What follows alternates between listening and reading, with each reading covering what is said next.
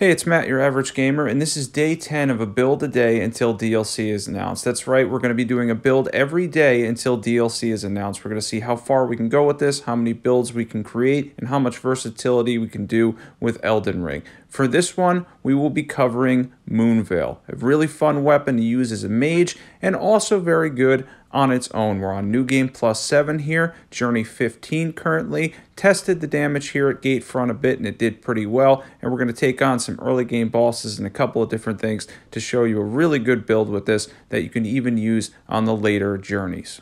Now, a lot of people ask if the damage tapers off a little bit as you go into New Game Plus cycles, and yes, that is one of the problems that Moonveil has. Even so, it can do posture damage with the R2 in the weapon special, and it also can do a little bit of damage with the beam and whatnot, and we're able to come up with a good build for it at 150 that we're able to buff as well a little bit and get some decent damage from it while also doing some posture damage if you stay close to whatever you're fighting. By the way, I wanted to mention too, if you're not subbed, definitely sub to this channel if you want to see a build every single day until DLC is announced. We're going to see how far we can go with this, and it's going to be a lot of fun. So definitely hit that subscribe button.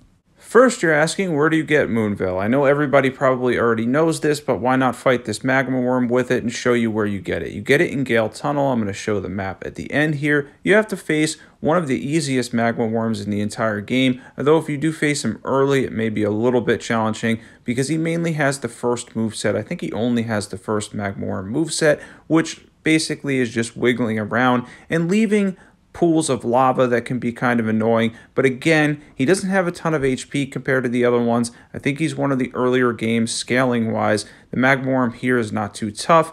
And there it is in Gale Tunnel. Be aware, by the way, that when you're in Gale Tunnel, you have to get the second grace if you're coming from Caelid, because otherwise you will be trapped. You won't be able to travel out. However, the boss is not mandatory.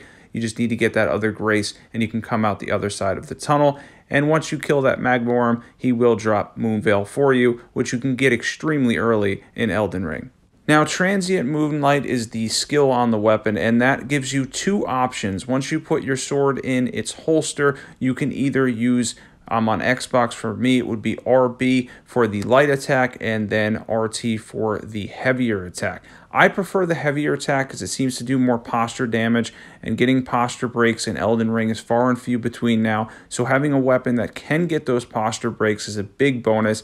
But the other one's actually really good for mob control, has a wider range, seems to hit a little bit better at a distance for me in certain circumstances, so they both have their uses, but I do prefer the charged attack on bosses for what seems to be a little bit of an increase in posture damage. And again, posture damage is far and few between now since recent patches. So it is really fun being able to posture break enemies with that charged attack and being able to, I think it does around 30 something posture damage per attack on the charge one. So that's not really bad at all. So keep that in mind as a little bit of a bonus for Moonveil is the fact that you're getting like 30 posture damage on that charge attack. Given the fact though that you have to hit it with the physical part though. So do remember that you do have to hit it with the physical part of it in order to get that posture damage. I'm not sure the beam does posture damage on its own. You're going to want to be close anyway because if you combine the physical part along with the beam on hit and you're able to do that, you'll get the posture damage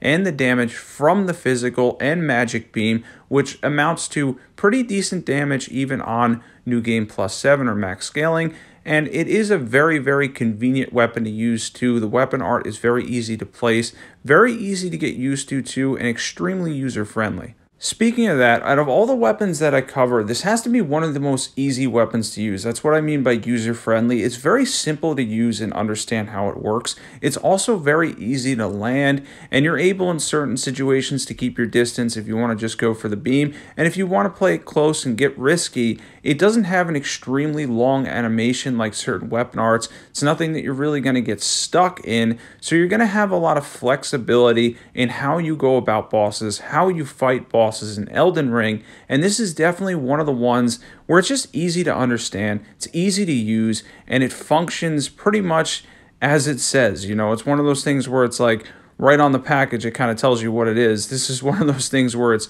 simple. The directions are quite simple here. You have basically two moves, and as far as using them, it's very easy to get used to a Moonveil build. So if you're new and you're looking for a Dex and Intelligence build, Moonveil is a fantastic place to start, especially on base new game where the damage is even better. Now for buffs, we're drinking our tear, which has the magic tear in it to help us with the beam. You can use the consecutive attack tear as well if you're hitting with the sword itself. I'm going to show in talismans in a little bit to go over that. And then we're going to be using Golden Vow and Flame Grant Me Strength.